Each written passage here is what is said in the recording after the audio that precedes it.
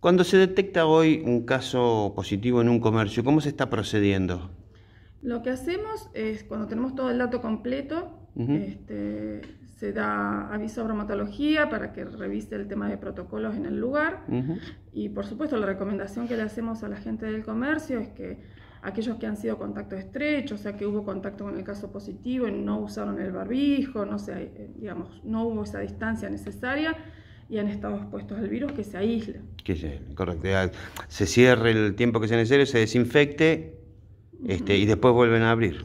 Sí, siempre, o sea, no podemos disminuir el tiempo de, aislamiento de un contacto estrecho. Cuando definimos que alguien es un contacto estrecho de un caso positivo, son 10 días de aislamiento, independientemente de que, que trabaje.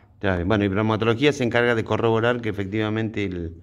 Sí, sí, sí, hay un acuerdo que bromatología hace esa inspección este, y bueno, de acuerdo a eso evalúa si se cumplen o no los protocolos para hacer el cierre o no.